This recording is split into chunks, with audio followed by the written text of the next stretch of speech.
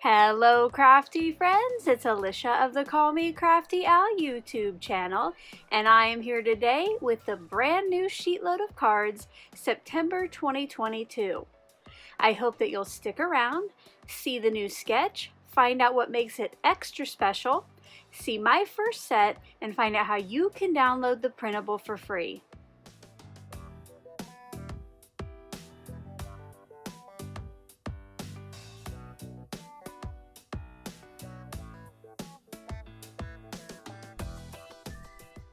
Thank you so much for stopping by today. If this is your first time to my channel, I hope that by the end of this video, you'll be inspired to click on that subscribe button below and ring that bell for notifications.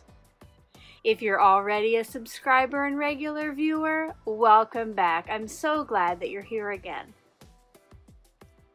The first of the month is always an exciting time around here when I debut the newest sheetload of cards.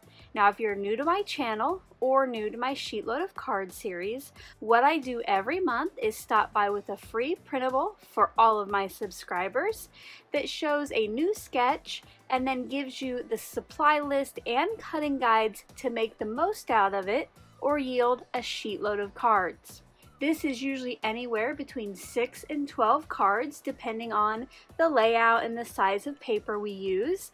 It is always a great way to either build up your own card stash, donate cards, or make sets for friends and family members. In today's video, I will be sharing a look at the new printable, a look at my first set of cards I created, and I will be sharing how you can download the free printable to use for yourself. Tomorrow, I will be back to share the process of the new sheetload of cards and give you a few tips and tricks along the way. And my team of collaborators is going to be showcasing their sets, both here on YouTube and over on Instagram. Now, if you don't already follow their channels here or their accounts on Instagram, I do have everybody listed in that description box below, so you can go ahead and do that and get a head start. Let's go ahead and take a look at the September 2022 sheetload of cards. Here is a look at the two-page printable for September 2022. Like I mentioned in the intro, it is a little extra special. Not only will we be using 6x6 paper, the finish size is also a mini slimline and it has a tent topper. If you follow the supply list and the cutting guides, you are going to yield 12 cards. So this is definitely a sheet load. Just like the past couple months, this is going to be a great one to build up your own card stash, maybe make cards for the upcoming holidays, make lots of cards for donation, or give sets away to friends, family member, coworkers, etc. And don't forget, there is always the option if you don't want to make that many cards, you can always use the single card dimensions that I give on that printable. As always on page one, I give you the new sketch and the supply list that you'll need to create that sheet load. This month, to yield those 12 mini slimline tent topper cards, you will need six pieces of pattern paper that are six by six. Now, if you don't have any six by six paper, you can always cut down that 12 by 12 as well. You will need eight pieces of solid cardstock and on one of those, which you'll see when I show you the cutting guides, you'll need a scrap as well. Once again, if you just want to make a few of these or one of these, I do give the dimensions here, and I have some alternative ideas down here. One of those being, if you don't have oval die cuts that are this size, you could always use different shapes or just hang a die cut image off the top. Now, if you are a channel member, I will tell you more tomorrow, but I do have some bonus cut files for you this month to help you make these more easily. So you have the correct sizes and that scalloped oval all ready to be cut on your electronic cutter. Because it is a pretty unique card, I do have a special note down here at the bottom, and that is just to make sure when you put the tent topper on your card base that it doesn't extend above what a mini slimline card would and not fit in your envelopes. Now speaking of envelopes, that is one question I get frequently when I do a mini slimline card, so let me show you what I use. Online, you can get plenty of pretty colored, fancy mini slimline envelopes, but for myself, since I know they're pretty much just going to be torn up and maybe recycled, I just get the standard envelopes you can find in big box stores. These are the number six and three quarters, and I actually got both of these at the dollar, or now the dollar and a quarter tree. On the left, I don't like to use these quite as much. They are security envelopes, but hey, in a pinch, these will work. And I got 80 for a dollar at the time. They also have at the Dollar Tree ones that have the self-sealing envelopes and I do like these much better. There are only half as many though.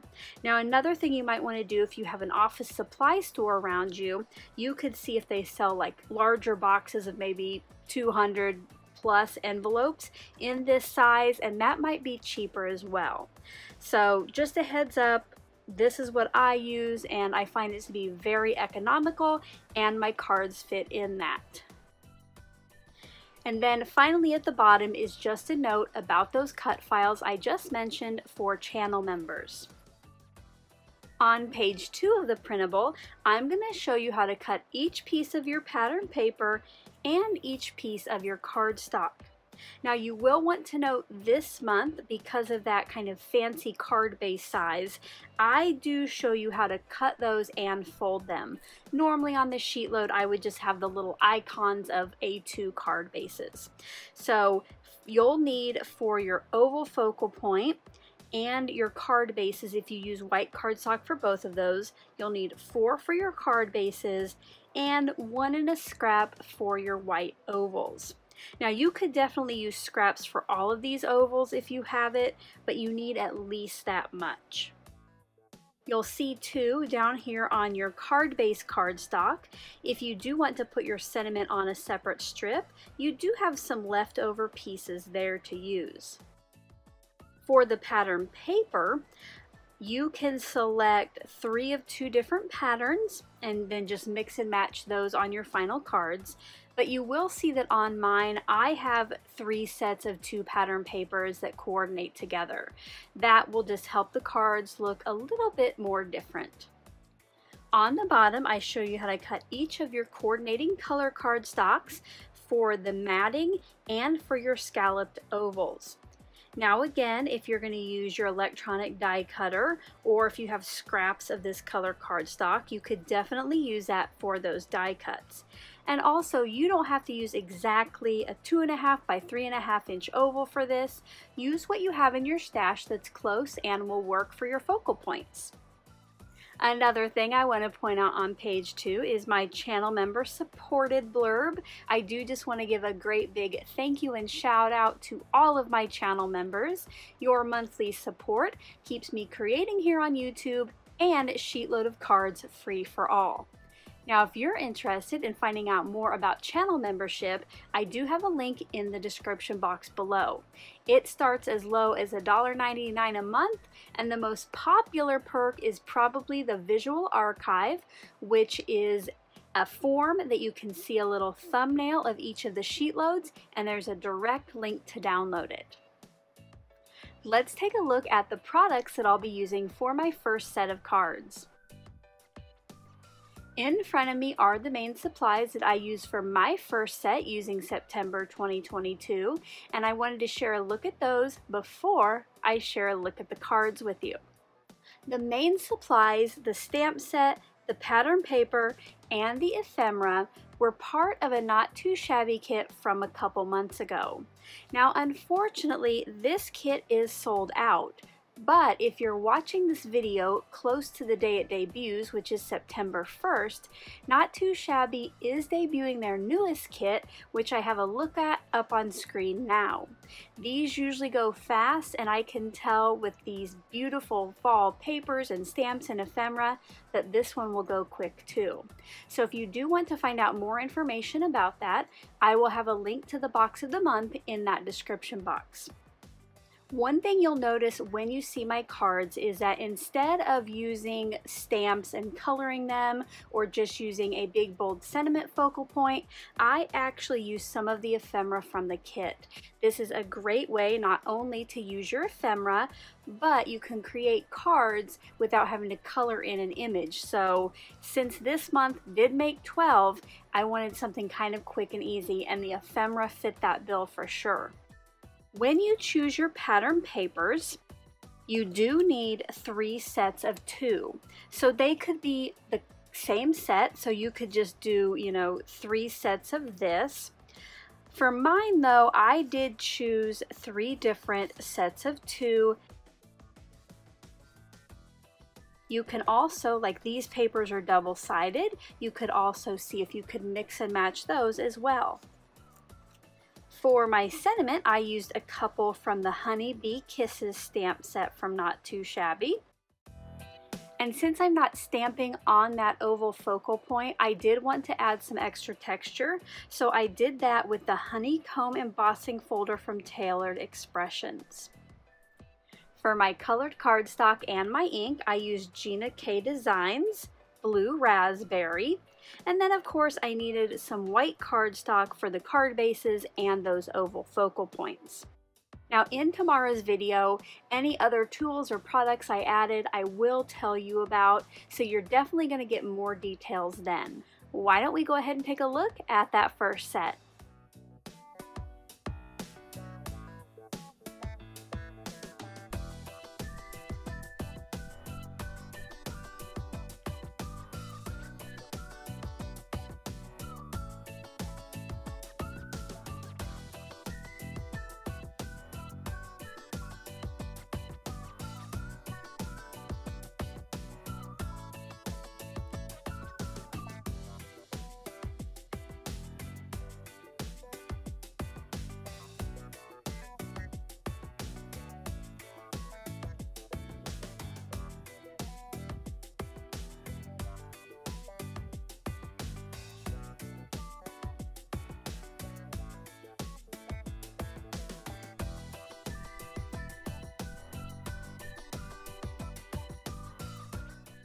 I hope you enjoyed that close-up look at my first set of cards using the September 2022 sheet load.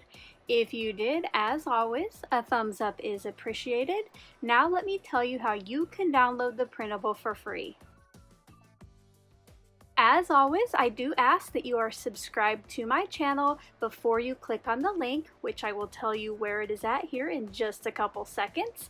We do just go on the honor system here, so please make sure if you're not already to click on the subscribe button below, and hey, maybe even go ahead and ring that bell for notifications while you're there. You will find the link to this month's printable at the very bottom of my description box below. Below the link it will say to watch the video for a password, but you watching this far to find out where the link is, is your password. You can click on the link and use it on screen, or you can download it to your device and print it out for use like I have. I have printed mine in color, but you can always print yours in black and white and it will work just as well. Don't forget if you want to show us your sheet load to use the hashtags at the top and until tomorrow, when I will be back with the process and my team of collaborators will be joining me, I hope you're all having a crafty day. Bye-bye. Thank you so much for taking the time to watch all the way to the end of the video. I hope now you'll consider clicking on one of the videos or playlists I have linked above, and if you're interested in any of the products or tools I used in today's video, I do have some links in the description box.